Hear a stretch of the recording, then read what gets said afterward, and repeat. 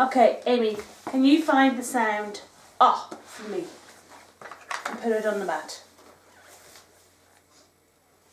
Can you find the sound k for me?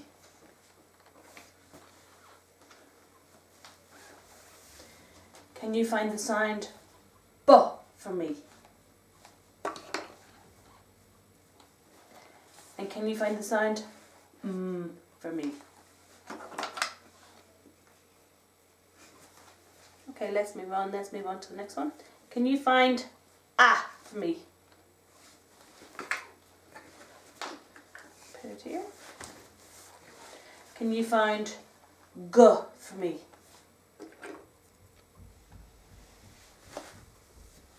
Can you find w? And can you find l?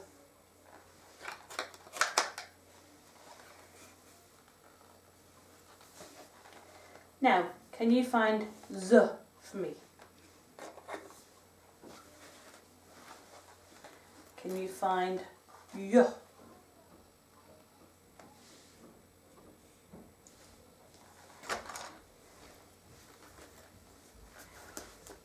Can you find f?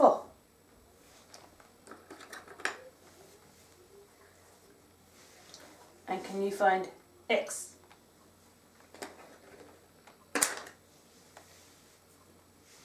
Okay, I'm going to stop it here, but you can continue on to the, all the sounds are going again.